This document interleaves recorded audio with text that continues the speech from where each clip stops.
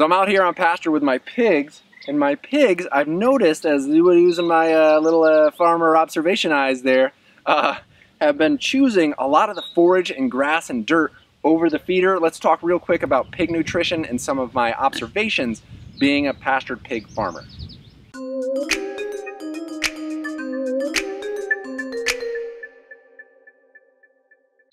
So I have my mobile pig feeder. They're raised on organic, non-GMO feed. I always have new feed coming in so it's fresh. I have these flaps I have other videos how I set the whole shebang up. You can find that uh, other places in the channel.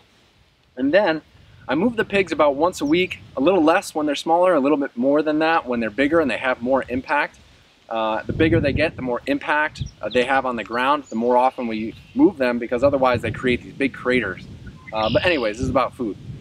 So with moving the pigs on pasture, you would think like pigs are raised in a conventional setting in a barn on slat wood floors, they're just fed grain, and uh, that's all their diet really consists of. Now moving them out here, these are pigs that are coming from a farm They've, as piglets. They're just raised on grain. They've never been outside like this before, never on managed pasture, uh, and they had no exposure to it. I got them as piglets. And now having brought them out, watch this B-roll of when I moved the pigs and they had fresh ground and there's pigs standing right next to the feeder which I had just topped off with fresh feed and he's choosing grass and dirt over the feed which is just amazing. These nutrients that were grown by the sun, I didn't pay any money for them. It's easy enough to move the pigs. It's positively impacting my ground because they're churning it up a little bit. Um, they're biting and eating the grass, which is triggering the grass to grow. As the grass grows, it's being fed by their manure, which is dropped on the ground, which is feeding the microorganisms and adding nutrients back into the ground. I've been reconditioning my soil over time using the pigs, and by having them raised out on pasture, sure, I have to move them and I can't just lock them uh, in a barn or an outdoor area that just looks like the surface of the moon because the pigs have been on there forever, they ate everything. By moving them around, I'm keeping the smell down I don't smell anything right now and I'm standing in the middle of a pig pen. I'm feeding them and cutting down my feed costs. And then the quality of forage that they're getting is improving their diet, improving their gut health.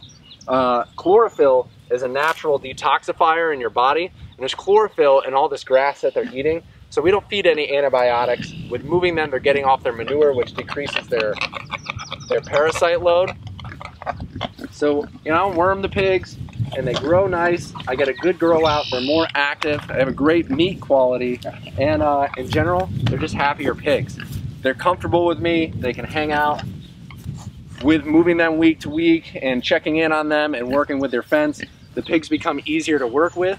Uh, so when it comes time to that one last awful day, you know, they trust you. They'll get on the trailer and then they go on to the dinner plate from there.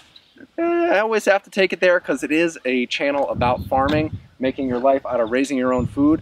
Just want to make sure that we're all focused on the animal welfare and the health and well-being of the animals, and that creates a better end product. The more energy you put into the animal in the beginning, the better it is at the end, the more likely, uh, the easier it is for you to sell to customers because they're looking for that top quality product. Here it is right here. There's the feeder, which I've fixed so it doesn't spill feed out a lot. And this pig, until I started talking, was digging in around the feeder, chewing up on the dirt. If you cycle back to when they were babies, they had a little bit of a diarrhea problem uh, that I couldn't solve when they were in uh, their brooder, their pig brooder. And as soon as I let them outside and started feeding them dirt, uh, they brought some dirt into the brooder, those minerals and that mix, the diarrhea went right away. Whether it was coincidence or a factor of the dirt, the improved diversity and health of their diet uh, had a great effect on how the pigs lived. So I just, I love being out with the pigs on pasture. They teach me something new every time I'm out here. Uh, if you have any questions on raising your pigs outdoors, leave them in the comments section below. Subscribe to the channel to see more pig videos. This one's trying to poke me in the butt. And until next time, I'll see you out in the pig pen.